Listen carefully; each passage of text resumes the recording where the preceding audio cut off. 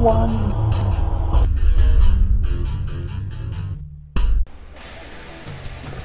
Hello everybody, Reaper X1 here again, playing some more Terratech 0.6.2, the newest stable version. And recently I've been doing a lot of building, and some pretty big builds, so it's been kinda slow and a little laggy, so I kinda needed this to do some straight battling for a while.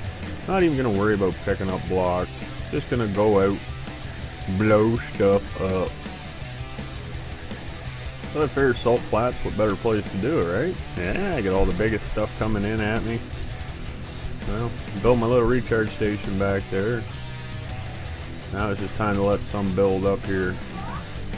Get something to fight. Got one guy there, he looks like a decent start.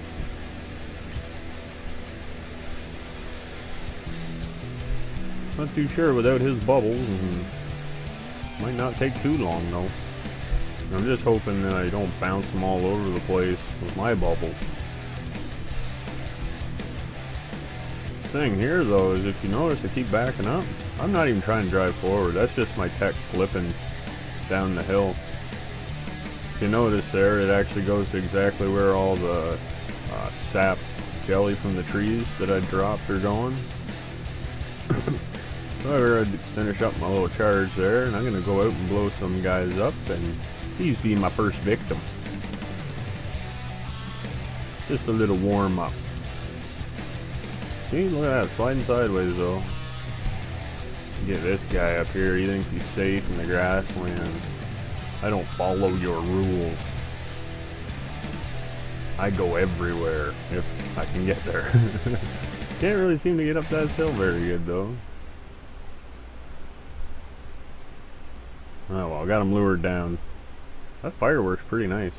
And the hailfire rifles on the side don't hurt either. Now this guy, I had him targeted from the start. I just took the way the roundabout way of getting to him. Uh, he wasn't too bad. He lasted a little bit. Oh, little guys again. See, I was hoping to have some big guys. Maybe even something that would match me in size I figured most of them wouldn't have their shields and such, but at least then they'd actually have a chance of doing me some damage. The little guys though, they get stuck underneath, they could do some damage I figure. They're getting through them big bubbles. Uh, another one of them guys. Well, maybe that's a different version. I don't know, I can't remember what the last guy was.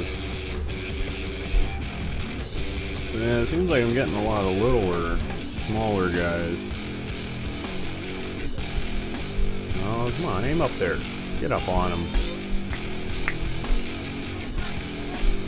I just can't seem to get at him. My guns won't aim up high enough. Hill's too steep for me to climb.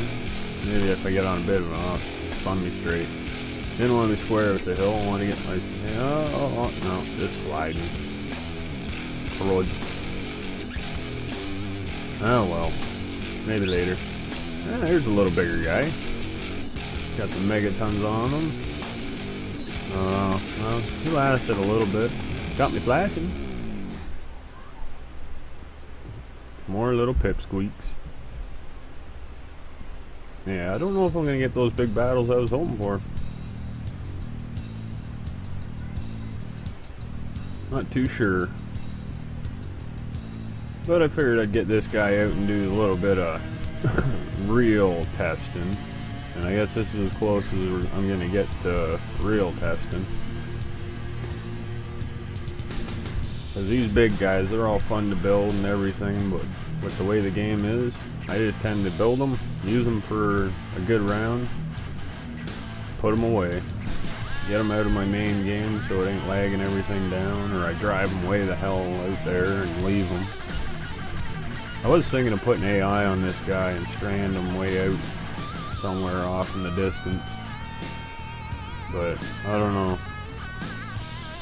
I got other ideas and I could really use all the blocks back. Because I got another version of this in the R&D that I've been working on and it's quite, eh, it's a little bit different. And it costs quite a bit of money. I think, to get it into the game. It's not done yet, and the last I checked it was about six and a half million dollars for the BBs. So I might need the parts back to sell. And I'll have to go around here and clean up all this mess when I'm done. Yeah, I figure I won't clean nothing up, I just want to see how much of a mess I can make. But with these just the smaller, even the bigger guys I'm getting, not really enough of a mess add up the way I was hoping. But it's still fun nonetheless. This tag handle's pretty good. If it wasn't as laggy as it is, it would be actually a really nice thing to drive around. It turns fairly good. It's not super fast turning radius or turning speed, but got enough weapons on it where it's damaging stuff no matter what side you're on. So it can always fight no matter what. And maybe need something lower to the ground for projectile weapons though, or laser weapons. Those little guys, they're getting right in under the saws and that. So, that's something to think about for my next one that I build. But I got looking around on uh, the line there and been talking to some people on the forums and there's tell of maybe a new update coming with a few new fixes that I've been kind of waiting for. The one conveyor I think will be fixed and just small stuff for now, not necessarily a big update, but a really nice one nonetheless. So I might have to go and look and see if I get one of them today. If so, then well, I'll probably be starting over again. Because there's talk of grade 4 and 5 licensing for the GSO. I'm going to try this save maybe first. See if I can continue on with it. Just to see if it still works right. But I probably will start a new one. New series. Just get a true test of the new update.